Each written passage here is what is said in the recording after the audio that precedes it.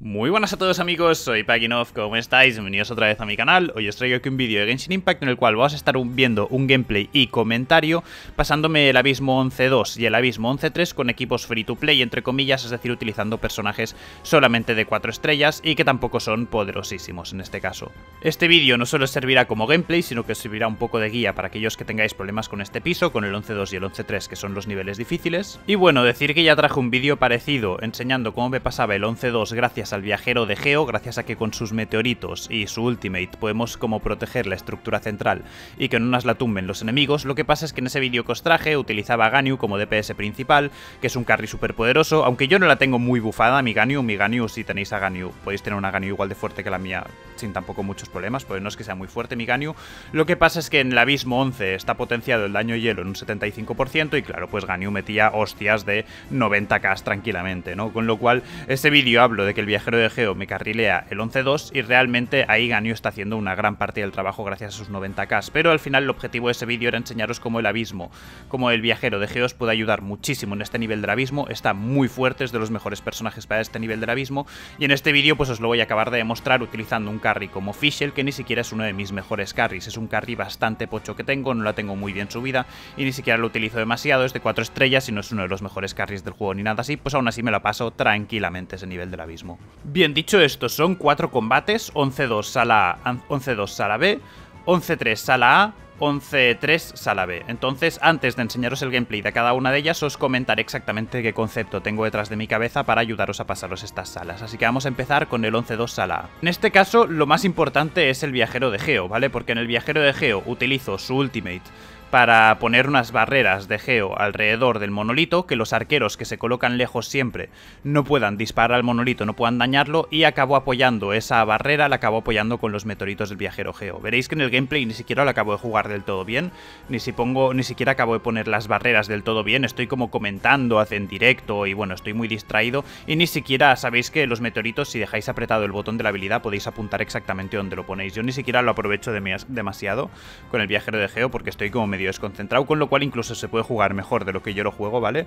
Y, nada, pues veréis que simplemente pongo las barreras ahí y, así los arqueros que hay lejos no, no pueden disparar, con lo cual me centro mucho más en los, en los enemigos a melee que se acercan al monolito, me quedo cerca del monolito acabando con todos ellos, y bueno, deciros que para el viajero geo lo que os recomiendo es que os pongáis muy buena recarga de energía para poder spamear ese ultimate que es muy importante. Yo en este caso llevo, por ejemplo, la espada free to play que nos dieron en Espina Dragón, ¿vale? La de, ¿cómo se llama? Deseo Ponzoñoso, y luego si os podéis poner un reloj de recarga de energía, pues también genial porque así podréis spamear vuestro ultimate. Bueno, dicho esto, aparte utilizo a Fischl como carry, que es un carry físico, con lo cual utilizo a Rosaria como personaje de hielo para bajar la resistencia al hielo a los enemigos. Además el daño de hielo está potenciado en un 75% en este abismo, así que los personajes de hielo son muy interesantes. Y finalmente llevo a Bennett como cureta porque es mi mejor super cureta, super cureta. Bueno, aquí como veis ya estoy a punto de acabar, me faltan unos grupitos de arqueros que siempre salen de dos en dos, ¿vale? Así que cuando matas a estos dos, ¿vale? Mato a uno y al otro, me aparecen dos arqueros juntos en otro lado, con lo cual intento poner un meteorito justo delante de la estructura para que no la puedan golpear. Contra más cerca de la estructura pongas el meteorito, mejor, más fácil va a ser cubrirla de los dos arqueros. Y bueno, pues me voy a cargar estos dos arqueros, si os fijáis arriba a la izquierda pone que ya me he cargado a 14 de 18. Y nada más, mato a uno y ya me aparece otro en el otro lado, con lo cual voy directo a intentar poner el meteorito. ¿Veis? Aquí lo hago mal, aquí tendría que haber puesto el meteorito justo delante del monolito, porque ahora si me aparece otro, este por ejemplo ahora me ataca a mí, pero este tendría ángulo para atacar. O si ahora se mueven, igual tienen ángulo para atacar al, al, a la estructura, con lo que contra más cerca del monolito pongas los meteoritos del viajero, mejor. Y aquí, bueno, ya me estoy ahorrando la energía para... Estoy intentando aquí generar ultimate para empezar la siguiente sala con ultimates a tope. Aquí este es otro consejillo que os doy y que os voy a dar siempre, que es cuando una sala ya vais sobraos, como en este caso yo ya sé que ya la supero bien, pues lo que hago es no darme prisa en matar los enemigos, utilizar habilidades elementales que no hagan mucho daño para generar partículas elementales, no gastar mis ultimates y así acabar la sala con los ultimates a tope y cuando empiece la siguiente sala tendré todos mis ultimates cargados. Cuando me vaya a la 11-3 este equipo ya tendrá todos los ultimates cargados. ¿Por qué? Porque estoy terminando la sala con todos los ultimates cargados, ¿vale? Básicamente por eso. En esta sala justamente hay como el efecto este Electro que te baja energía de los ultimates, pero tengo todos los ultimates a puntito de estar cargados. Aquí vais a ver mi segundo equipo, es un equipo de hielo y congelado, que va muy bien en esta sala porque con hielo así no atacan al monolito si los congelas y aparte el daño hielo está potenciado en un 75%. Tenéis como monto estos equipos en mi vídeo de que ella ya no es un meme, ahí lo explico en profundidad. Aquí voy a utilizar a Sakarosa para aturdirlos a todos y que no se puedan mover mucho, ¿vale? Y así me los junto un poquito y les empiezo a pegar con mi, bueno, mi build de congelado, que en mi, en mi vídeo de que ella ya no es un meme tenéis explicado cómo funcionan estas combinaciones, que aquí van de coña porque eh, el daño hielo está potenciado en un 75% en esta sala y si os fijáis es un equipo muy free to play, todos son personajes de 4 estrellas, así que nos va de lujo, ¿vale? Y como veis pues pegamos unas toñas increíbles.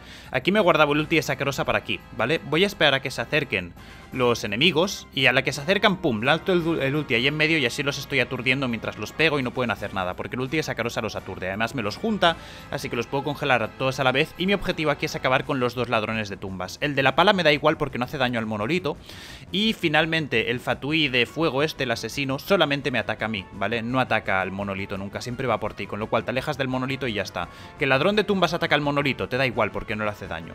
Pero te has de focusear primero en los otros dos ladrones de tumbas, ¿vale? Que son los que hacen daño al monolito. Después el Fatui te alejas del monolito para que cuando te ataque a ti no golpea el monolito sin querer y te lo destroce y básicamente sería eso. Bien, aquí vamos a ir a por la sala 11-3 con el primer equipo, el de Fischl. Mi objetivo va a ser primero acabar con el Fatui de Electro por dos motivos. El primero de todos porque el de Anemo te viene encima. Si tú vas a por el de Electro, el de Anemo te viene encima y así puedes golpearlos a los dos a la vez. Si tienes a dos enemigos juntos, puedes golpearlos ambos a la vez y eso te ayuda mucho con tu DPS. Y también para evitar que se ponga el escudo de hielo y pierda tiempo luego intentándoselo quitar con Rosaria. Recordar que el elemento hielo quita los escudos de rayo, con lo cual llevar un personaje de hielo es importante en esta sala porque luego vendrá otro Fatui de Electro. Bueno, me acabo de reventar el Fatui de y ahora me salen tres Fatuis más. Quiero reventar primero al de agua porque puede curar los otros y si no reviento al de agua será imposible completar esta fase. Así que mi prioridad número uno es acabar con el Fatui de agua para que no cure a los demás. Bueno, a partir de aquí le voy pegando hostias de, eh, bueno, de hielo con rayo para superconductor y que me fiche le haga más daño. Se pone el escudo, pero ya lo hemos reventado. Aquí me centro en el de Geo, ¿vale? Porque el de Geo ataca a distancia y el de Electro cuerpo a cuerpo. Si yo voy a por el de Geo, el de Electro viene encima y puedo pegarlos a los dos a la vez. Si me fuese a por el de Electro, el de Geo se quedaría atacándome a distancia y no podría pegar los dos a la vez. Y si quieres acabar rápido con una sala, si puedes pegar a dos a la vez, perfecto. Con lo cual voy a por el de Geo, que así el de, el de Electro ya me viene encima, ¿vale? Ese es el objetivo. Primero el de Geo, o sea, agua, Geo y después Electro. Electro te lo dejas para el final. Bueno, acabamos ya con el de Geo, se ha puesto el escudo de, de Electro este Fatui, pero bueno, le pego con Rosaria para intentar quitarle el escudo. Voy a tenerle que pegar otra vez con Rosaria después. Para la que tenga la habilidad en cooldown, ya lo tenemos tumbado y bueno, ahora le hacemos aquí le vamos a poder hacer superconductor con relativa facilidad y que Fischl se pueda hacer más daño con sus ataques físicos, ¿no? Así que nada, ya tenemos esta sala completamente superada con este equipo y como veis, pues, bueno, aunque este equipo no es óptimo, este equipo con el viajero de Geo es óptimo para la 11-2, llevar al viajero de Geo en la 11-3 ya no te vale, quiero decir, este equipo acaba siendo bastante flojo, ¿no? Con lo cual con mejores equipos lo podría hacer con, con mucho menos tiempo. He utilizado el equipo de la 11-2 para la 11-3 y aún así me ha ido bien, ¿vale? Con lo cual, esa es un poco la estrategia de, de Focus en los en los, ¿cómo se llama? En los Fatui.